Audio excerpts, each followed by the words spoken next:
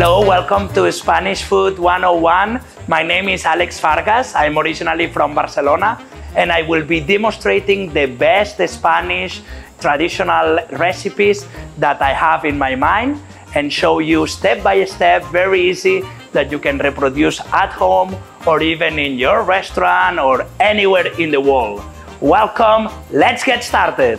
Today we are going to demonstrate the Barcelona seafood paella. We are going to make the my version of a seafood paella. We have here, we have the uh, ingredients, okay? We will be using the lobster, some squid, prawns, mussels, and clams. The best Spanish rice is called bomba rice. It's very nice to cook paella. We'll get all the flavor inside and the grain of the rice won't be sticky at the end of the cooking. Then we have done the lobster stock already, that this takes very long time. is a stock done with the lobster head. And at the end, you will see how I use a lot of olive oil and then the Ñora pepper that will give special taste to the paella. Let's get started. We have here all the seafood we are going to use today. So we start with the squid. I have just cleaned the inside, remove all the intestines and everything. We are going to open up like a, like a book, so it will be easy to cut. Mm. Then we open up and we'll cut cubes for cooking for the rice. So I like to cut everything small because the rice you eat with, um, so you don't have the knife to cut. So I like that everything is ready to, to eat. So you don't need to use the knife. Important, what I do so I don't cut myself is always I put this finger behind my main fingers on the left. So I never cut. And the squid, because have a tough texture, I always slice the, so I make sure everything is cut properly. No need to be very perfect. It's just this size is okay. And then for the legs that they, I take out already here in the middle, the eye, what is called the eye. Okay, so I do the same. And to go a little bit faster, I will do both of them like this. So like this, I make sure I don't cut myself eh? and always slice the knife like this so it's all very well cut. Okay, so I just keep it here for when I need to use. Okay, perfect. This is the main ingredient of our paella today. As they explained to me in the school, what we do with the lobster is to do the cut here, right here first, here, and then the lobster is not going to suffer anymore. Very sharp knife and just one time.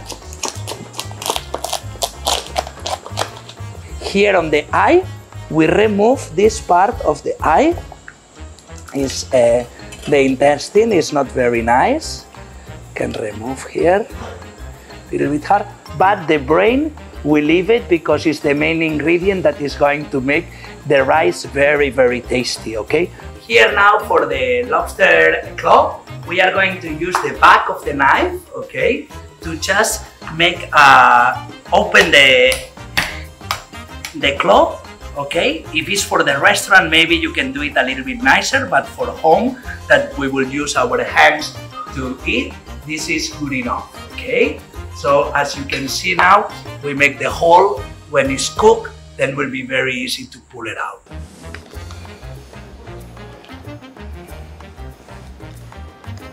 Now we are going to start cooking the paella. For the paella, it's very important, as you can see here, we have the big pan with the big stove. And the first ingredient, which is very, very important, is the extra virgin olive oil. I like to put a lot of it, okay, for many things that I will be discovering to you uh, little by little, okay. The first one, we are going to put the lobster okay for the lobster uh, all the oil we put uh, is going to take the flavor of the seafood okay? So the the fat always helps to get the flavor in. So we have a good stir fry of the product and we will remove the lobster meat that I said before. Later we are going to remove. We will put also the prawn. Just to give a little bit of color and always the seafood gets the, the nice oil inside. We see here, it's just a little bit of, of the sear of the lobster and we keep the meat is very juicy for the end. For the prawn, the same. I like a little bit to squeeze the head into the pan first, gently squeeze can squeeze a little bit, okay? And in the oil, we'll get all this flavor that we want. We need to add a little bit more oil. Be generous, don't be shy of it because the oil will give us later the last step, it will be the socarrat.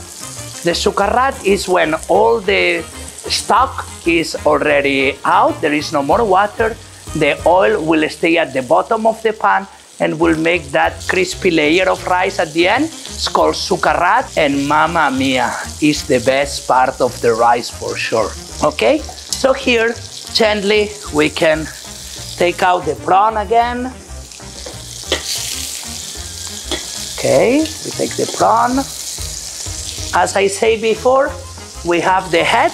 The head of the lobster we will keep uh, in the pan all the time and the legs we will just put it when, when it will take around eight minutes to finish. Okay? So we can keep it like this. Hmm? Now it's time to add the squid inside. Right? We stir fry the squid. Very nice. The squid it, it will be a very sweet flavor uh, uh, for the rice. So it's really important to use a lot of squid in my opinion, okay? I also like to open the mussel and the clam in the beginning and just to make sure that the mussel and the clam is good quality and is not going to give you a bad surprise on your dinner table, okay? So we stir fry, we can turn up the fire a little bit. That again, when you when you put the oil and then caramelize with the seafood, actually all the ingredients have sugar. So these sugars, when they caramelize with a lot of fat, all this flavor is going to stay in the pan. So don't try to make shortcuts. This one, lot of oil, stir fry slowly for about five to six minutes the oil is getting all this seafood flavor. So this one is very important. You will start to hear the squid will start to crick, crick, crick, crick, crick a little bit on your pan. That's perfect. It's not changing the color and it's important to get like a white pan to do your paella. Now is a good moment to take out the clam, even if it's not 100% open, it's no problem. We can still identify which ones is good, which ones is not good. And then the juice that they will take at the end, it will also help for the paella to finish to cook. Now I will share uh, my secret. I am originally from Catalonia. We love the sofrito. So I'm going to add into the paella. For those that are from Valencia, they will never add any onion or anything else in the paella. But for them also a seafood paella is, cannot be called paella, it will be called rice with things. So today I am doing my style of seafood paella or my style of rice with seafood, okay? So let me add now a little bit of the sofrito, which is onion and garlic and a little bit of the tomato paste. And now after adding the sofrito, I'll add also a little bit of the ñora paste. It's a special pepper, it's the inside of the pepper, just to give a little bit of extra flavor to the rice, okay? We add a little bit of salt before we put the stock. Now, as you can see, we have stir fry all the seafood for around six to seven minutes. All the oil gets the flavor of the seafood and we are ready to incorporate the lobster stock. The lobster stock, we have used around 10 lobster heads to make around 3 liters of stock. So 10 pieces, so it's around 3 kilos of lobster head with 3 kilos of seafood and then we make the stock. The stock with little bit of onion, little bit tomato, uh, all the lobster head roasted with the seafood also roast and then we cook for about 45 minutes.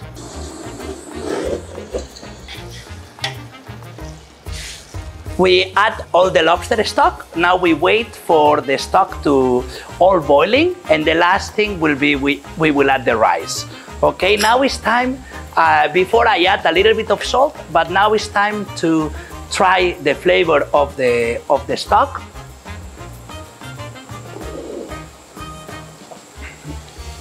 We should add a little bit more of the salt. I use just table salt, normal salt, thin salt that will be uh, is good for, for this one. Let's talk a little bit before it boils. Let's talk a little bit about the rice. I like to use the rice for bomba. It's called bomba rice from Spain. The good thing that this rice have is that it doesn't have too much starch in, inside, so then it's not going to make it sticky. What we want is the flavor to go inside, but the rice doesn't release too much starch. So that is the perfect choice for the paella. So now a tip is uh, how many people is having uh, dinner or lunch at home. My mother, the way she will add the rice will be, she will say one uh, full hand per person that is having uh, the dinner. Okay, that will be a good way to do it. But the other way, if we if we don't have the nice pan, you can use my mother tip, which will be if it's, this paella will be good for five to six people. So we should do five full hands of rice. We always add it in a cross, in a cross, okay? So it will be easier later to mix it up. Now we mix, we mix it. What is the definition of paella? The definition of paella is a dry rice. Originally, you should cook in this paella, but it's okay. If you don't have it, you can use a white pan. Also, be careful not to have, a, if, if the pan is white, make sure you don't use small stove with a very wide pan. And the definition for a dry rice is that you only add the stock one time. So we should not touch anymore this rice. As we can see, our rice is completely spread at the bottom and now with the, we will leave it boiling fast for about five minutes. After that, we will go low fire for about five more minutes and we will add the seafood. The seafood will add a little bit more water to finish the paella uh, to cook perfect. This bomba rice will take around 14 to 16 minutes to cook.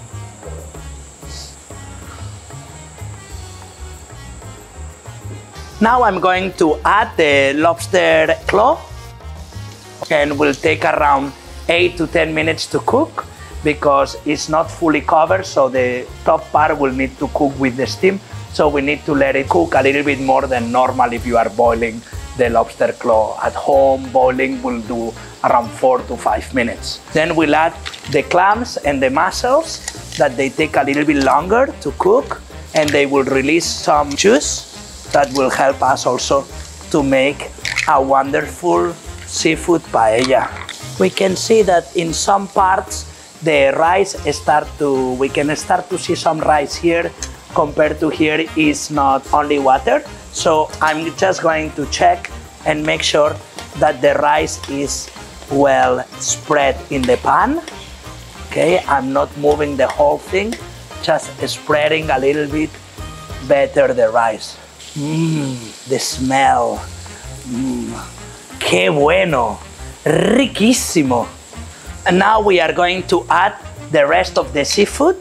Uh, we need around five more minutes to finish the rice.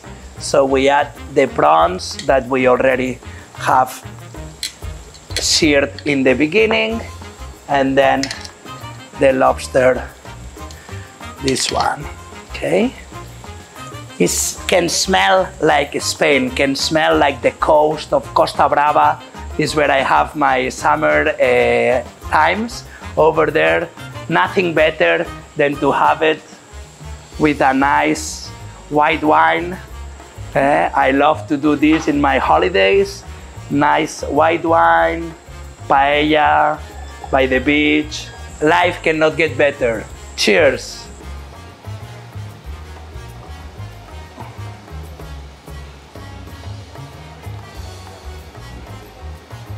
Now we start the last step. As you can see now, the water is evaporating or the stock is evaporating. Now in the, on the sides of the pan, you can start to see the oil that we had in the beginning of the pan. In my cooking school, uh, I had a teacher, his name is Mariano. He told me that the rice uh, talk to you. I say, what do you mean talk to you? So now we will start to hear that uh, the rice will start to crisp in the pan and we'll start to do some tick, tick, tick, tick, tick. Okay? So this is when you know that you are starting your socarrat. Uh, you can see the sides of the pan starts to stick. At the moment, the smell is not burned yet. Another way to see it at home is you can put the the spoon, you see it's not yet sticky, starting to stick.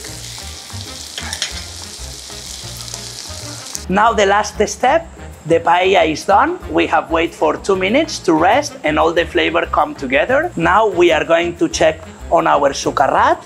You can hear eh? and you can see here the burn part at the bottom. This is the nice socarrat and I like to mix it together with the rice. So we will have some very crispy rice in the paella. We can add the lobster, some prawn. Always make it beautiful, even if it's at home. Presentation is very important. Enjoy. This is the lobster paella by Spanish Food 101. Salud!